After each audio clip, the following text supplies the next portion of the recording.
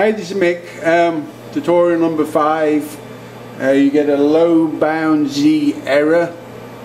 Um, I'm going to do this in two tutorials. One tutorial for a machine with a touchpad and one tutorial for a FTC or ATC. This is going to be for machines with a touchpad. So I have my Aspire file. Um, I'm doing Z0 off the corner, lower left hand corner. I'm going to put in two slots into my MDF board. Uh, I created my toolpaths and off I go. So what you first got to do is, I said I'm zero zeroing off my lower left hand corner and you see here that I'm zeroing off the center of the table. So I have to get rid of my temporary green boxes, we've gone over this many times. G92 and hit enter or put a box on your screen, clear green boxes. So I type in G92, hit enter. So I'm going to run the file now, but it's not going to run. You'll see the error message. Um, the reason why it's not going to run is because with a touchpad you've done a measure tool 1 so your that is your table reference but I'm going to run the file and you'll see the error. I'm not going to move the camera. Uh, you'll see what I get. So there we go just normal.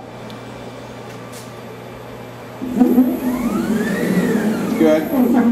It's going to go. Now I get the low bound message. It won't go any lower. So how do you get rid of it? I'm just going to lift up the router. I'm going to move it somewhere on the table. Doesn't really matter where I move it.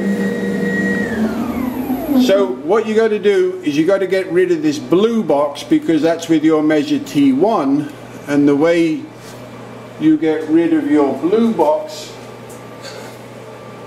is to type G49 and that will get rid of your blue box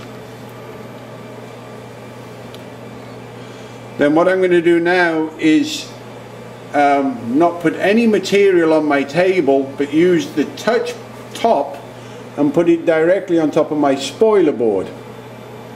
So I'm just going to click on the screen. I'm not going to move the camera.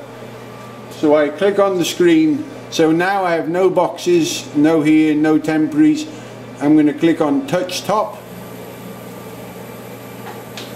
The router bit's coming down, I've got my pad on the table. You'll actually see like a little red flash on the screen where it hits the touchpad. There we go. So now basically I have Z0 on my table. So I'm going to move, well I'm going to, what I'm going to do is load the file, file load, load, I hit the balls, I hit the eyeball, so this is what's going to happen, it's going to start, it's going, the router's here, it's going to go down, go up, go down, go up, then go back over. I've increased my feed rates. Um, one word of advice is in aspire. When you do this make sure your uh, rapid travel is above the grooves of the table otherwise when you cut one groove and go to transit to the other groove you're probably going to hit your bit so just lift it way up so now it's ready to go I'm just going to pause move over to the table then I'll press enter okay so I'm just going to press enter and we'll see what happens. So there we go. I've got a four second delay for my router to come on, which I turned off. So we go down.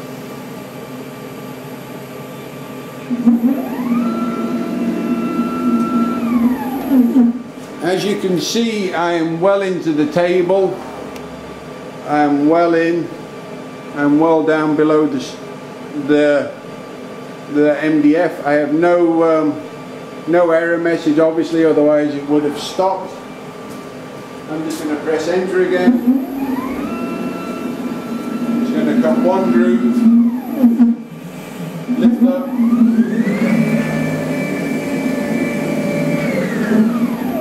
and back down again. That's why I meant you need to raise your Z rapids.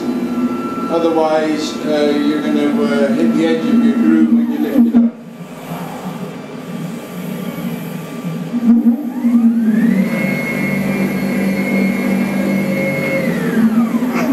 And that's it. Hope it helps. Thanks. Bye.